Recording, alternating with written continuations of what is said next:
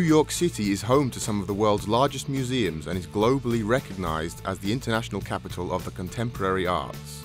On the 8th of December 2009 in New York, the Victor Pinchuk Foundation announced the launch of the annual Future Generation Art Prize. Global scale, open and democratic application procedure, distinguished board, international jury and selection committee, exhibition of shortlisted artists at the Pinchuk Art Centre.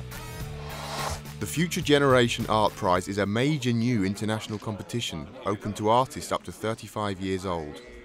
The goal of the prize is to discover new names in the art world and to provide long-term support to the next generation of contemporary artists from all over the world. Anyone, regardless of gender or nationality, is free to apply. The prize's mentor artists are Jeff Koons, Andreas Gursky, Damien Hirst and Takashi Murakami, all leading figures in the contemporary art world.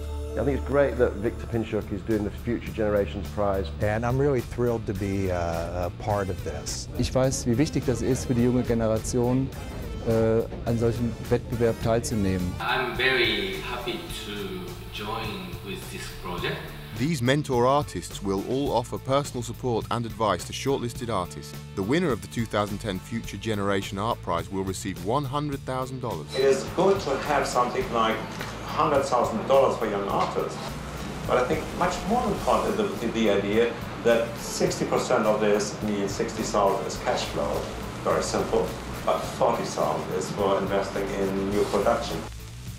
An additional $20,000 will be provided to finance internship programs for five special prize winners. The Future Generation Art Prize, supporting an emerging generation of international artists and uncovering the next big names in global contemporary art.